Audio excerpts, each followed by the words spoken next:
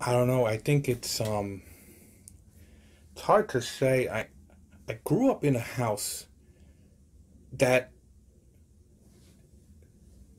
whatever was on the label of the container wasn't in the container. I just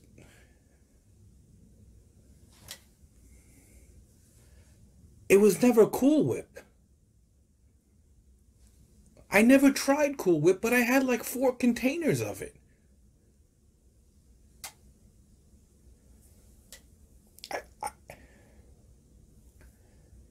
It, it's like I'm living a lie every day. I've never seen the ricotta container full of ricotta. It's always sauce.